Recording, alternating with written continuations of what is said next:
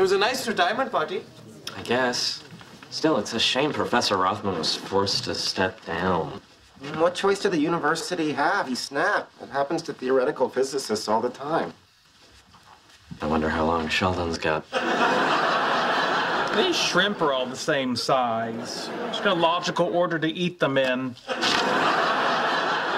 Can't be very long. Hey, look, there's Rothman's empty office. Sad. Yeah. So sad. Dibs. What's up, fellas? What are you doing here, Kripke? Ah, measuring my new office for Dwapes.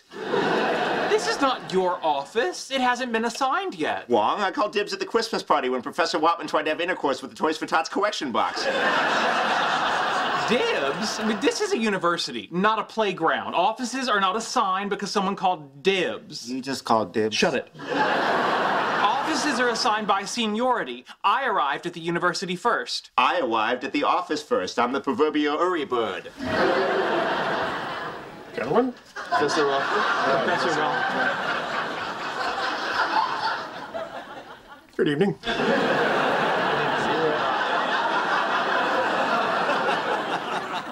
I'm glad men are wearing hats again.